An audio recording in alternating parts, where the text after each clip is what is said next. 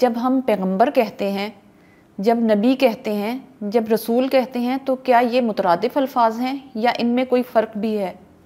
देखिए, पैगंबर तो फ़ारसी का लफ्ज़ है और नबी और रसूल दोनों अल्फाज अरबी के हैं। पैगंबर असल में पैगाम बर है, जिसका मतलब ये होता है पैगाम पहुँचाने वाला।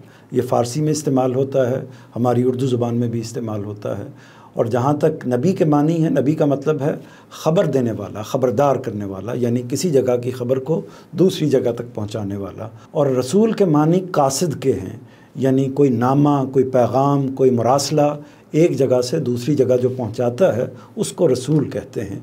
तो ज़ाहिर है कि इसकी नस्बत पैगाम की, मरासले की, बात की या ख़बर की नस्बत अल्लाह ताला के साथ है तो अल्लाह ताला की बात को, अल्लाह ताला के पैगाम को, अल्लाह ताला के मरासले को जो शख्सियात, जो इंसान बाकी इंसानों तक पहुँचाते हैं, उन्हें पैगंबर कहा जाता है, नबी कहा जाता है या रसूल कहा जाता है। अब जहाँ तक आपने ये पूछा है कि नबी और रसूल में कोई फ़र्क है तो इसका जवाब है कि हाँ नबी और रसूल में फ़र्क होता है असलाही लिहाज से। और फ़र्क असल में उनके मनासिब के अतबार से है, उनकी ज़िम्मेदारियों के अतबार से है।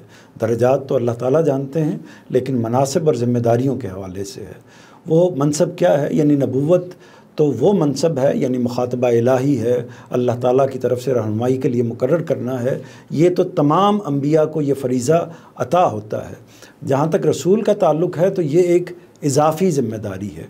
यानी रसूल को अल्लाह ताला किसी ख़ास कौम के लिए मंतखब करते हैं और मंतखब करने के बाद उसके ज़रिए से उस कौम पर गोया के क़यामत नाफिज करते हैं। यानी वो क़यामत जो इस दुनिया के अख्ताम पर तमाम इंसानों पर नाफिज होनी है, उसका एक छोटा सा नमूना वो इसी दुनिया में पहले से नाफिज कर देते हैं ताकि इंसानों को मालूम हो सके कि वो वाक़ जो आज से कुछ अरसे बाद क़्यामत के मौके पर होना है तो उसकी नौीयत क्या होगी? नौीयत ये होगी कि असल में अल्लाह ताला दो ग्रोहों को अलग करेंगे और एक ग्रोह पर अपना अजाब नाजिल फरमाएँगे। तो हज़रत नू सलाम की कौम, हज़रत शुएब सलाम की कौम, हज़रत साल सलाम की कौम और हज़रत लूत सलाम की कौम और बाकी बाज़ और रसूलों की अकवाम के हवाले से कुरान मजीद में मजकूर है कि उन पर इस नौीयत का अजाब आया, यानी पूरी की पूरी कौम सफ़ाए हस्ती से मिटा दी गई। तो ये क़्यामत की एक सूरत है, या अल्लाह ताला के अजाब की एक सूरत है। तो वो रसूलों ही के ज़रिए से आती है।